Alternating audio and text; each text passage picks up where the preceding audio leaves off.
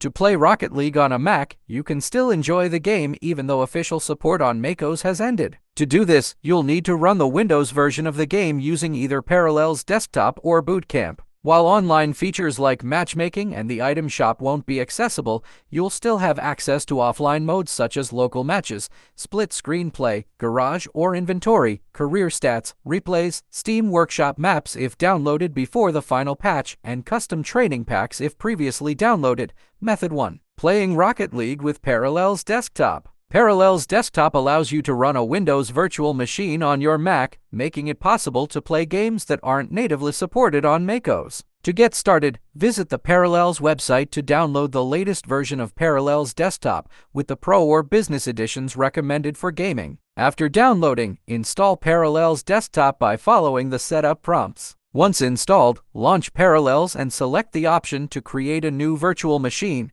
then follow the instructions to install Windows 11. Remember, you'll need a valid Windows license to activate this virtual machine. Once Windows is set up, you'll need to optimize your virtual machine for gaming by adjusting the hardware settings. In Parallels, go to the Hardware section, allocate enough RAM, CPU, and GPU resources, and enable the gaming profile for enhanced performance. To further optimize, shut down Windows, go to its configuration in Parallels, select Change under the gaming profile, and choose Games Only to maximize performance. After optimizing, you can download Rocket League from Steam or the Epic Games Store and install it on your virtual Windows. Once installed, launch Rocket League and enjoy a full-featured gaming experience. Method 2. Playing Rocket League with Boot Camp. Boot Camp lets you install Windows directly alongside macOS on your Mac providing a more native Windows gaming experience, which can be advantageous for performance. Start by ensuring your Mac has adequate storage space and meets the minimum requirements for Windows 10 or 11,